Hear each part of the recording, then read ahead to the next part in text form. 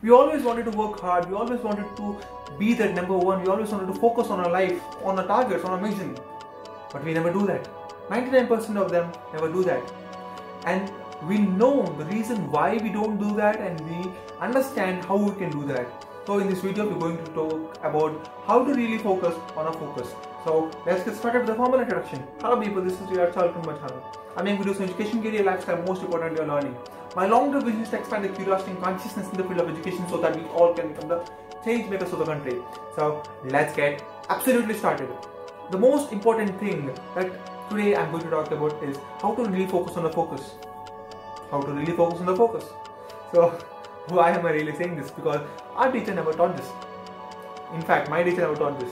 Because imagine the days when you sit in the class where in the math class the most boring subject and you would peep through the windows and teacher will scold you immediately. Teacher never corrected you. Teacher never gave the remedy for the problem. Teacher never worried about the problem itself. Why are you losing that focus? Why are we getting distracted? So that is what we're going to talk about this and together we'll get an inference of how to really develop a focus so that our targets get achieved. The first thing which I really feel more important is your vision should be very intact. What is this? Your vision should be on point every single day. That means you need to watch your vision every single day and night and you need to work on that vision. Because vision is like a petrol. It's like the fuel that carries your car to any distance. If that fuel is lacking for your car, then you don't go further. Simple as that. That's the best reason I can give you. So have a clear vision in mind and make sure that you stick the vision in front of you in the wall or in the study table wherever you sit so that you always remember that vision is what your purpose is all about. That is the first one in that case you will really help in getting the right focus and not getting distracted. And second one is have less pressure. Don't try to do 20 different things. Instead try doing the top 5 important things that you can really do that is most important, that is most priorities that you have to do this because all 20 tasks which you keep in your schedule are not so important. There are things that are urgent and important, there are things that are important but not urgent. You need to really differentiate and prioritize which task you have to do firstly and focus on the task with complete 100%. It is better to delay the task instead of doing the task with no focus. Right? That is the most important factor that I have to really give you here. Right? So first permission and second have less pressure on yourself. And third one, visualize yourself working every single point of time. This is most by far the most important point that is very sublimed every time. Why am I saying this? Because visualization helps you to get a clear sense of clarity. Whenever you're going for an interview, whenever you're going for an exam, it's how you visualize yourself to be there is matter. Because you got only three hours to present whatever you have read in the last one year in an exam. So you have to really visualize how are you going to attempt the exam. What are the first questions? What are the what are the questions that I have to really attempt in the first place? It's all about visualization, and visualization clearly helps you to get a good memory as well.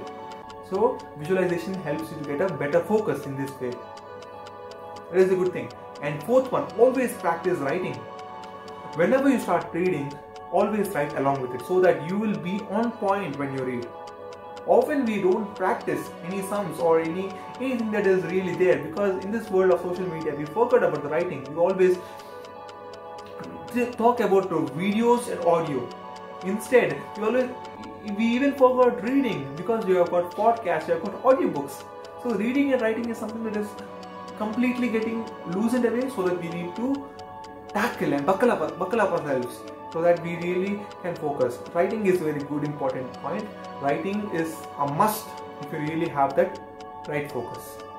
That is the fourth one. And the last one, most important fifth one is that you need to really prioritize your work area. Right? You need to really arrange your area. What are you doing? What are you sitting? Where are you you actually where are you doing your work every time?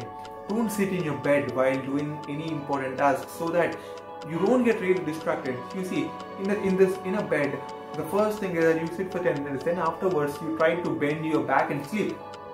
Once you sleep, you get that sleeping pill.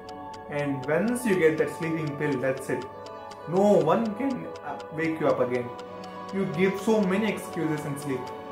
And after you sleep and wake up, you feel that why did I really sleep? Why is this boring story needed in our life? Is this really needed? Is this really needed? Ask yourself.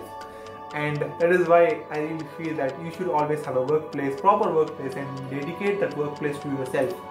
Don't let outsiders come in and uh, make your workplace spoiled so that your focus is like your a temple it is built by magnetic attraction and you need to have the right amount of focus that right amount of time that is what a focus is all about doing the right amount of time with right amount of focus is called perfection. There is nothing like perfection. Is 100% clarity of thought no. Doing the right amount of time at right amount of focus. That is the time. Simply if i have to give you an example if you think about working while playing you don't focus on playing. If you focus on playing while you're working you know the result. What happens?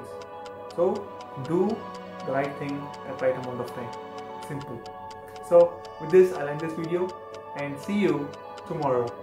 If you like this video please like it share it subscribe to my channel and please tweet the bell icon do recommend cha my channel to people whom you feel that this channel is this channel content is useful for them. And lots of love. See you. Bye bye